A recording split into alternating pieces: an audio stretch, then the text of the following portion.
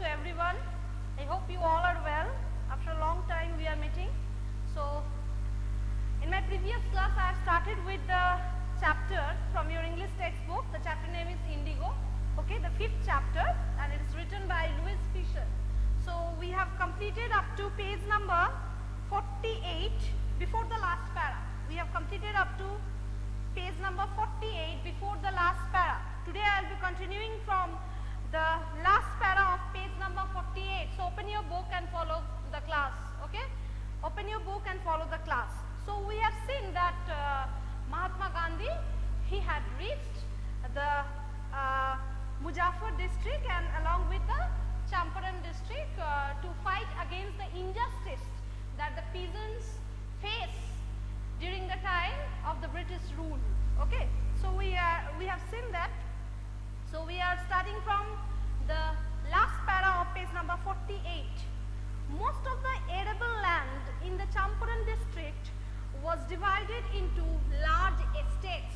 Estates means property. Okay, so arable land means farmland. The land which is suitable for cultivation is called arable land. So most of the farming land in the Champaran district was it was owned by the Englishmen, it was owned by the British people, okay, British men, okay, and uh, they had divided this farming land into large estates, okay, and walked by Indian tenants. Tenants means the peasants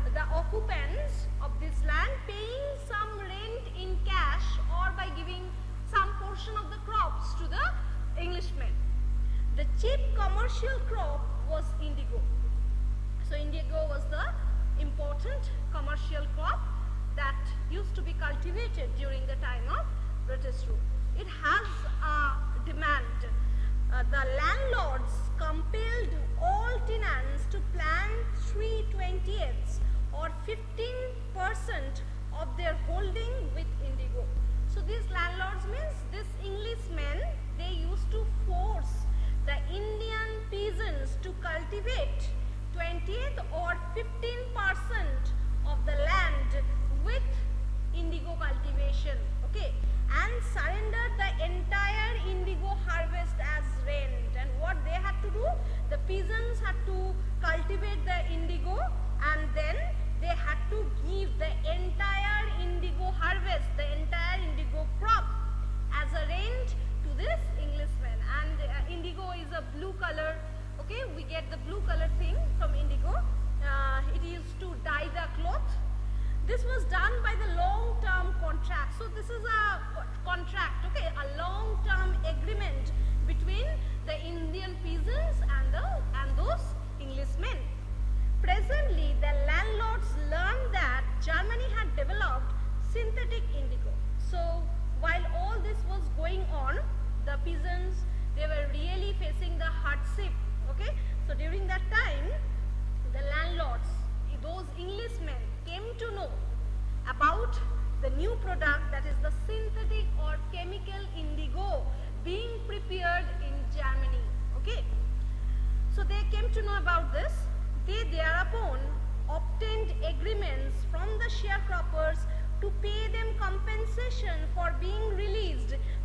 15 person arrangement. After that what they had done? The Englishmen, they started demanding money in order to cancel that agreement that is that is the agreement uh, between the farmers that is about 15 percent arrangement they had to give the money to those englishmen as a compensation as they no longer required to cultivate to cultivate this indigo plantation okay so those when they came to know about the synthetic indigo they no longer required these farmers to cultivate the indigo in their land. And after that they were demanding money as a compensation from the farmers. The sharecropping arrangement, so this system of sharecropping was irksome, irksome means very annoying, very disturbing to the peasants and many signed willingly that means many of the farmers paid for this cancellation of this agreement that they had done with the Englishmen. Those who resisted means those peasants, those who have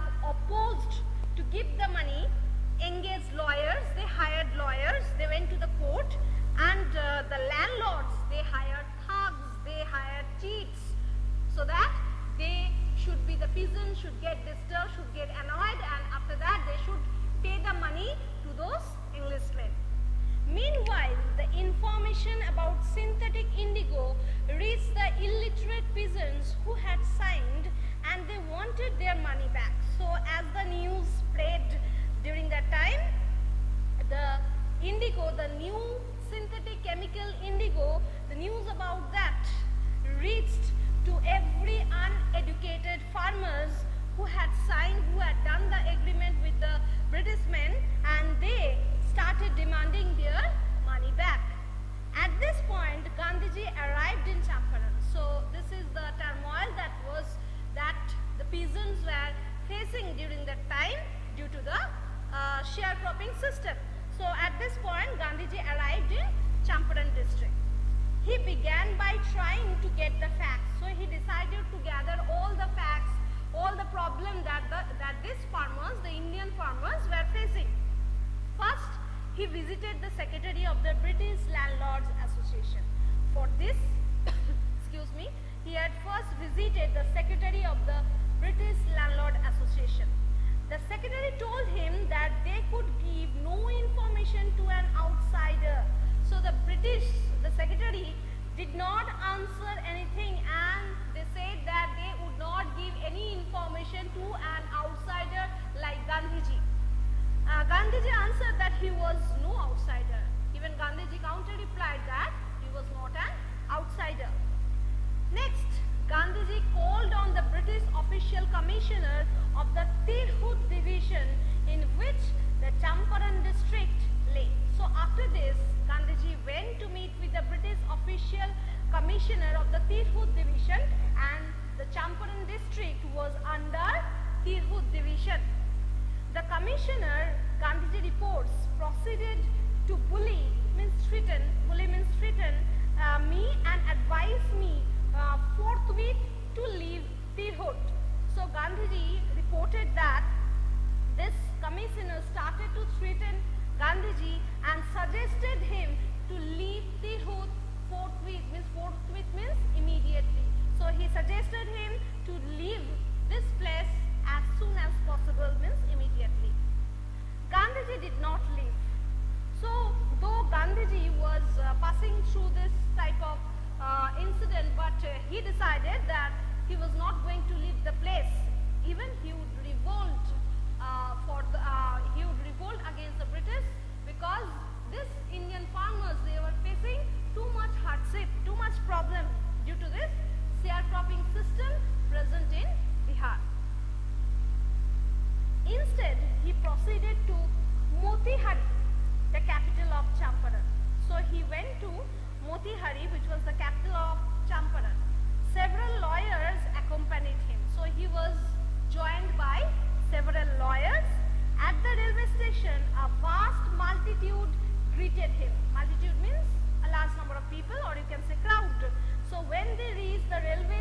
railway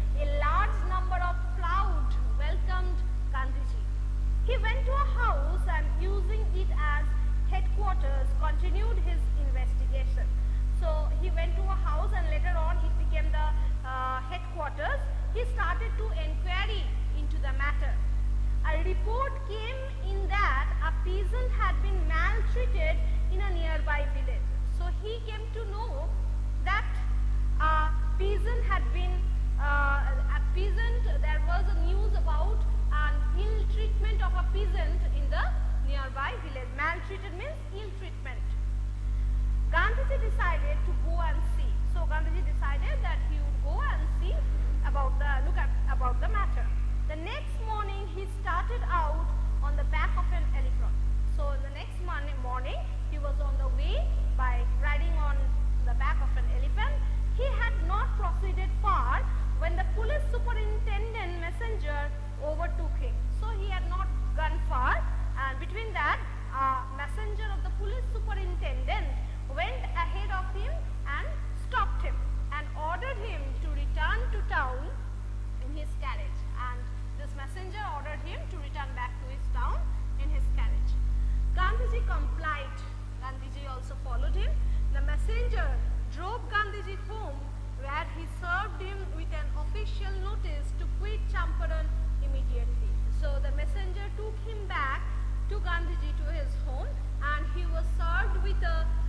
you'll notice that he had to move from Champaran immediately. He had to quit Champaran immediately. Gandhiji signed a receipt for the notice. So he received the notice, then he signed it as a receipt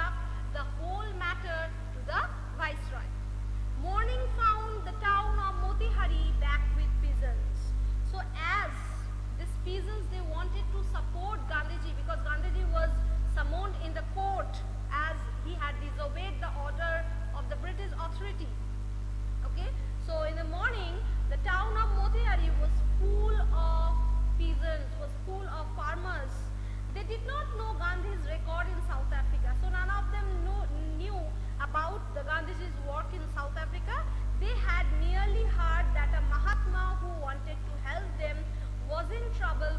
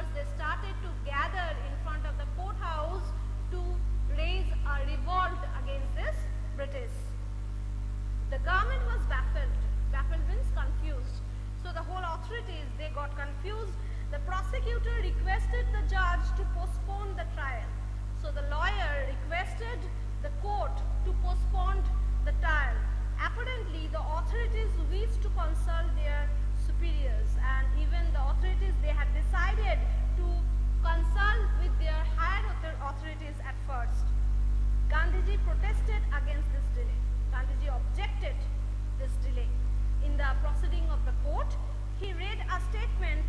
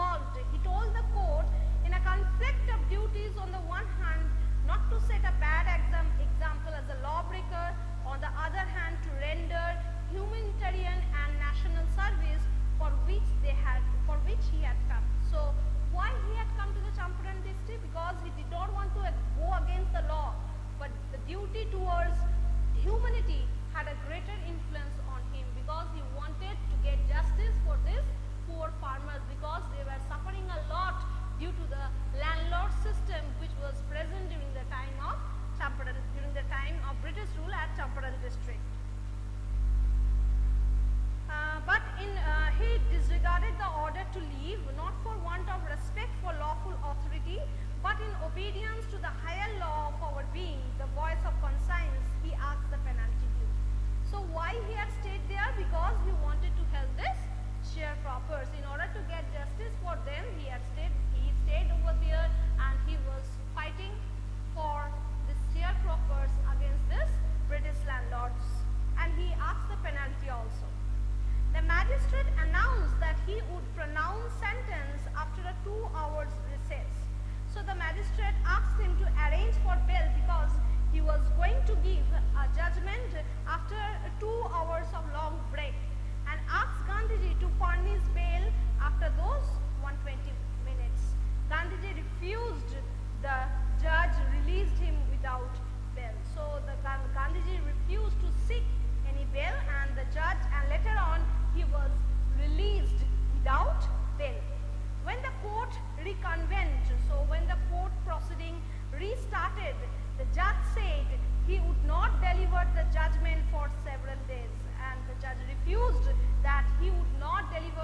judgment for several days. Meanwhile, he allowed Gandhiji to remain at liberty. So during that time, Gandhiji would remain to be free. That was the uh, proceedings and uh, the judge, he had uh, given the judgment on Gandhiji that he would remain free until those days, uh, until and unless he, he was delivering any judgment for many days it was still left. Why? Because there was some proceedings remained there and Gandhiji was to be free during that period of time. So, I have completed the two pages, page number 49 and page number 50. So, uh, we have seen uh, in this class that how Gandhiji he was facing also a, lots of trouble due to this poor farmers as they needed uh, justice for them okay? And due to the problem